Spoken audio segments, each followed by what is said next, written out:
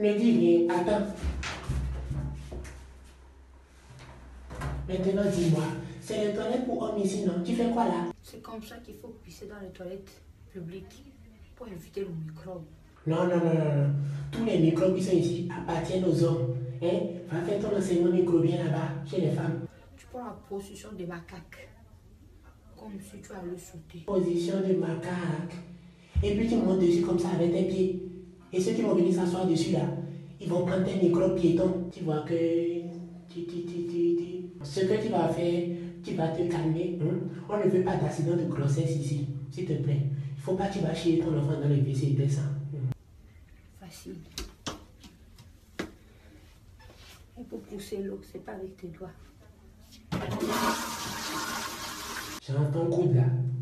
Il y a des infectants dessus quoi. Avec ton ventre rose là. Ça, c'est pas un cinglé, c'est un caleçon de femme enceinte. Elle arrive jusqu'au cou. Je m'en fous, je m'en fous. Sors, sors. Laissez les gens les pipi. J'ai pas perdu mes pas de danse de gauche à droite, je me balance. Qui a dit que Kirikou n'a pas j'ai de rein? Aïe, aïe, c'est qui bloqué?